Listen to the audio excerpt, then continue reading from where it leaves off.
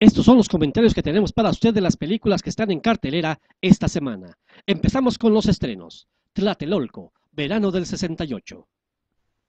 La película va en torno a dos chavos que, como todos, tuvieron problemas en esas fechas. Uno pobre, fotógrafo, y otro de buena familia, acomodada en el sistema de la familia prillista, la cual dirige el caricaturizado y que nunca debió llegar a la presidencia Gustavo Díaz Ordaz. Es una historia de amor bañada en sangre y diferencias que no dejan a México ser un país justo. Tú y yo no tenemos que estar juntos. ¿Cómo no? Porque tú eres pobre y yo soy rica.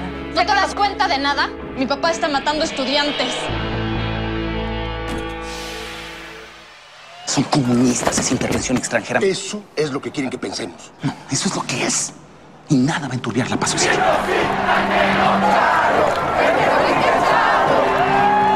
Esto es lo que está pasando en las calles. Papá, yo no puedo hacerme un lado, no puedo hacer como que no pasa nada.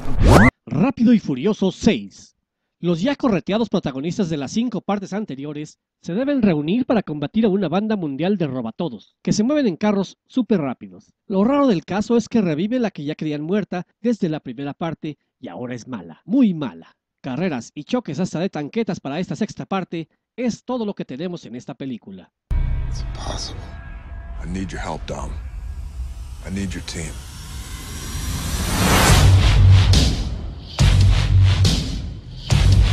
Do I smell baby oil? You keep running your pie hole, you're gonna smell an ass kicking. You got the best crew in the world standing right in front of you. Give them a reason to stay. Our target's Owen Shaw, former Spec Ops soldier. For years, they've been running jobs in Europe, but it's our most recent job that graduated them to a whole new level.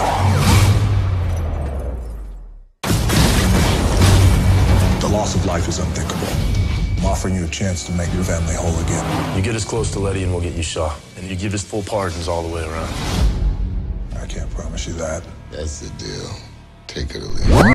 12 horas para vivir. Trilladota, trilladota, trilladota. Nicolas Cage con su misma carota. La peli del malo que se vuelve bueno porque le secuestran a su hija de 16 años y tiene que robar 10 millones para recuperarla. La fórmula ladrón, ex convicto, vengador reformado ya es vieja y esta versión no aporta nada nuevo. Hello? Hello, Will. Vincent? I want my share. Of the $10 million that was going to change our lives. There is no cash. That daughter of yours, she grew up real nice.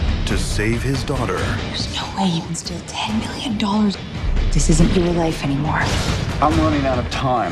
he has just 12 hours You don't think he's telling the truth? No, I do not. to steal $10 million. Fire alarm just went off at Parish Community Bank. I want this guy nailed. Star Trek, en la oscuridad. Para ver esta película tienes que haber visto la primera parte del 2009, pero antes las otras ocho versiones ochenteras del remake, que a su vez está basado en la serie de televisión sesentera que también te debes chutar para entender todo el rollo de la nave Enterprise, de Spock, del viaje por las estrellas. El filme es bueno, cuenta con la dirección de J.J. Abrams, el que hizo Lost y otras peripecias, algunos buenos efectos, buena trama estelar, pero aún sigue siendo una franquicia de culto, o sea que solo los Star Trekianos la disfrutarán al máximo. Think you're safe. You are not.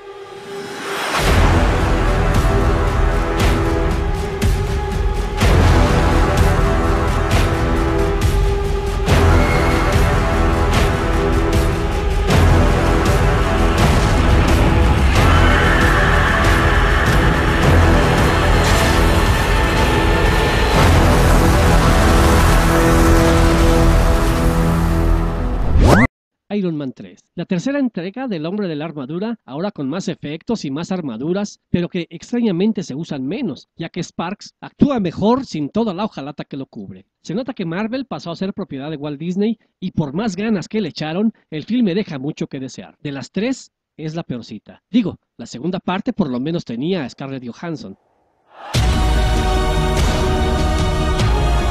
Ladies, children, People call me a terrorist. I consider myself a teacher. Lesson number one, heroes. There is no such thing. El Reino Secreto, película animada que se parece a Ants, que se parece a bichos, que se parece a las del País de las Maravillas o Peter Pan en miniatura. Tiene cosas de todo, hasta de Querida, encogía a los niños, otra película de Disney, viejísima pero que no pegó. Es buena para niños, nada más. ¿Quiénes son ustedes? Los hombres hoja, protectores del bosque. No soy de este mundo. ¿Qué te pasó? ¿Te encogiste? Sí. ¿En serio? Ha sido un día extraño para todos. Estás aquí por una razón. A veces las conexiones no son claras. Voy a destruir el bosque.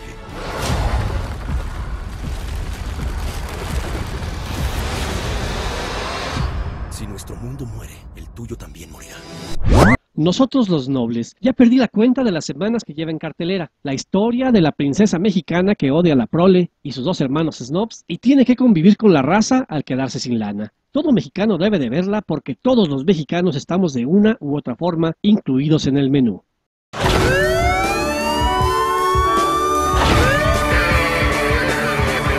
¿Qué es esta invasión, güey? ¿Me puedes explicar por qué nos están quitando todo como si estuviéramos en Venezuela? Porque descubrieron un fraude. Jesus Christ. ¿Y si nos entregamos? Que van a tener que empezar a hacer algo que nunca antes habían hecho. Trabajar.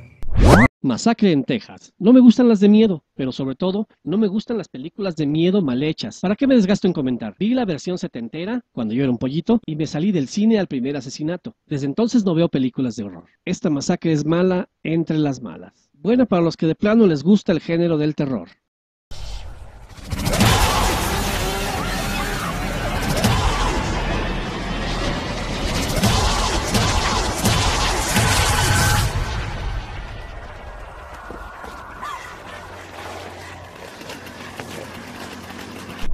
Síganos en tiemposacatecas.mx. Así nomás. Hasta la próxima.